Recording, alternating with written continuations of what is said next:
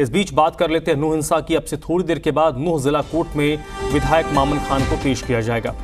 Court परिसर में सुरक्षा बढ़ा दी गई है। किसी भी को भी कोर्ट परिसर वाले रास्ते पर जाने नहीं दिया जा रहा।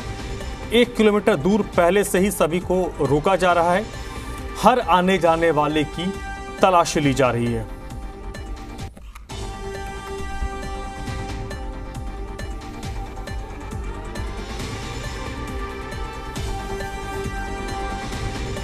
और इस वक्त देवेंद्र भारद्वाज मेरे साथ जुड़ चुके हैं। इसी पर ज़्यादा जानकारी के साथ। देवेंद्र अभी क्या स्टेटस है? कितने देर में आ, मामन खान की पेशी होगी?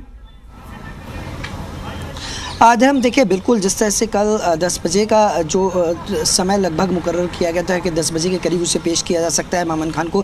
लेकिन फ़िलहाल अभी बताया जा रहा है कि कभी भी मामन खान को कोर्ट लाया जा सकता है और इसी को ध्यान में रखते हुए सुरक्षा के पुख्ता इंतज़ाम किए गए हैं। अलग अलग जगह बैरिकेटिंग की गई है क्योंकि कोर्ट परिसर को आने वाले तमाम रास्तों को पूरी तरह से बंद कर दिया गया है।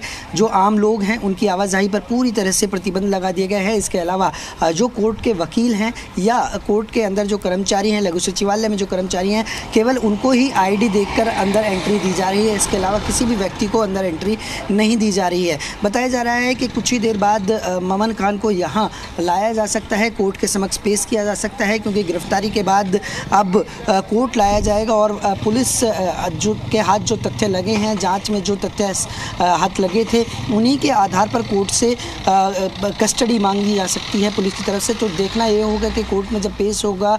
अमन खान तो किस तरह की जो पुलिस की तरफ़ से तथ्य रखे जाते हैं और क्या कोर्ट का निर्णय आता है? लेकिन फ़िलहाल जिस तरह से सुरक्षा के पुख्ता इंतज़ाम किए गए हैं, क्योंकि कांग्रेस की तरफ़ से भी लगातार ये आरोप लगाया जा रहा है कि सरकार बेवजह उनके विधायक को फंसाने की कोशिश कर रही है, क्योंकि फिरोजपुर से कांग्रेस के विधायक हैं ममन खान और उसी को लेकर लगातार जिस तरह की परिस्थितियाँ बनी हुई थी, जिस तरह से स्थिति बनी हुई थी, उस बीच अब लगातार क्योंकि इकतीस जुलाई की जो घटना, हिंसक घटना हुई थी, उसके बाद से लगातार चर्चा में नाम था ममन खान का और खुद गृह मंत्री अनिल विज की तरफ़ से भी ये कहा गया था कि ममन खान जहाँ जहाँ गए, वहाँ वहाँ हिंसा हुई और इसी को मद्देनज़र रखते हुए नूह पुलिस की तरफ़ से कार्रवाई की गई है और ममन खान की गिरफ्तारी के बाद अब कोर्ट में कभी भी यहाँ लाया जा सकता है।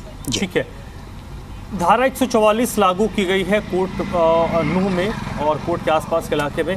तो कोर्ट में जो बाकी लोग हैं, जिनका कोर्ट में काम होगा उनको किस तरीके से आने दिया जा रहा है? देखिए किसी को बहुत ही ज़रूरी काम है तो उसकी आईडी देखकर उसको बाकायदा जब संतुष्टि होने के बाद ही पुलिस को अंदर भेज रही है। और इसके अलावा नूह में पूरी तरह से धारा 144 लगाई गई है, क्योंकि आज जुम्मे की नमाज़ है और लोगों से यही अपील की गई है कि वो अपने घर पर नमाज़ अता करें मस्जिद में एकत्रित ना हो।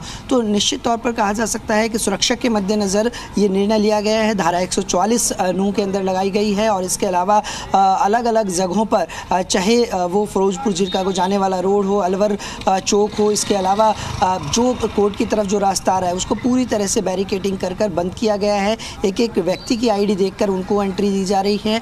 तो अब कुछ ही देर बाद ममन खान को कोर्ट में पेश किया जाएगा क्योंकि इकतीस जुलाई की हिंसक घटना के बाद जो पुलिस ने जाँच में जो तथ्य जुटाए हैं, उन तथ्यों को कोर्ट के समक्ष रखा जाएगा। क्योंकि इससे पहले मोनू मानेसर की गिरफ्तारी हुई उसको कोर्ट में पेश किया गया था, जिसको न्यायिक हिरासत में भेज दिया गया था लेकिन राजस्थान पुलिस ने ये कोर्ट में आकर ये अपील की कि एक हत्या मामले में वो आरोपी है और इसी पूछताछ में कोर्ट की तरफ़ से राजस्थान पुलिस को मोनू मानेसर को सौंप दिया गया था। तो उसके बाद से ही ये कयास लगाए जा रहे थे क्योंकि मम्मन खान को ये कहीं ना कहीं अंदेशा था